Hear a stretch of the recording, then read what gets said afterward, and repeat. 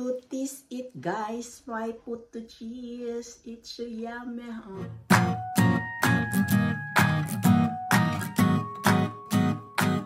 Evening to everyone. So, I'm making puto cheese, guys. Napaka-simple lang ingredient. Pwede na kayo makakain ng puto cheese.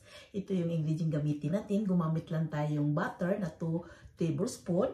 Of course, 1 cup na flour gumamit lang kung 1-8 cup na uh, sugar. Nasa sa inyo, 1, 1 half cup. Okay na sa akin, kaunti lang kayo. I don't need much sweet. 1 tablespoon na baking powder. And 3-4 na pressed milk. At gumamit tayo ng pans na salt. And, of course, gumamit tayong vanilla. Ang unang natin gawin, guys, haluin lang natin yung ano natin yung butter. And then I add yung sugar. Yan. I-add natin sugar.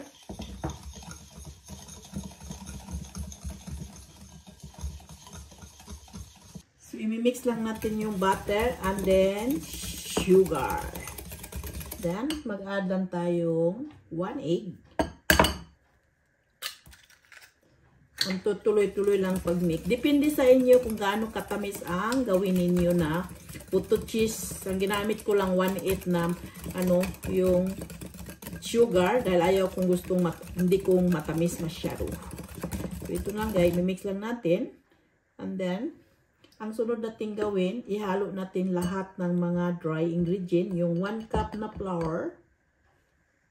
Of course, vanilla and baking powder, one punch a little bit uh, salt, and then ano natin ito guys. Dandahan nating imimix guys. Yan.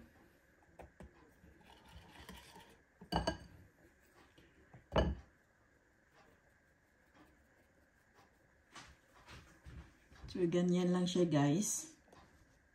So, this is it guys. Mix ko na lang dahan-dahan pag mix. And then, unting buhos na milk.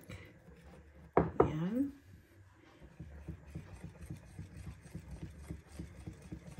Ang buhos ulit. Ayan. And then, tuloy-tuloy lang pag-mix nito guys. ito na siya guys, na mix na yung mixture natin. So that is the mixture. Eh, cover the plastic guy, refrigerate, and then I steam tomorrow. So see you for tomorrow. So that is my potato cheese mixtures guys. That is it. And then, mayroon akong form bit natin sa form dito guys. Yan natin. Gumamit lang akong plastic sa ilalim para hindi na siya didikit.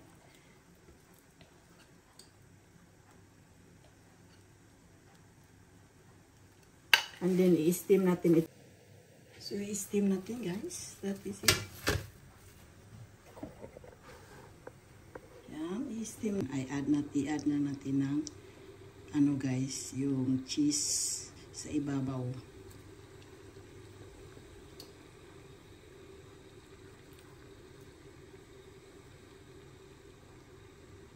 Yan, that is make extra delicious. So now that is my potato cheese guy. A look. Here we are.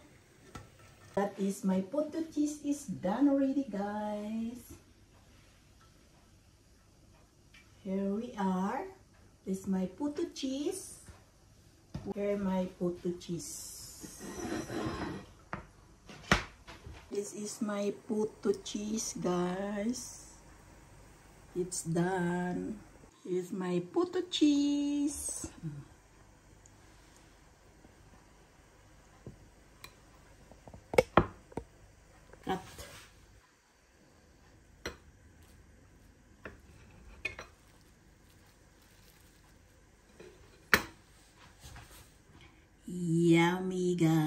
it is my puto cheese. Yes.